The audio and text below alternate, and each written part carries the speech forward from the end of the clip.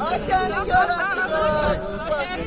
Ayşe, Musa yaraşmadığımız Musa yaraşmadığımız Musa yaraşmadığımız Ana dilek, ana dilek,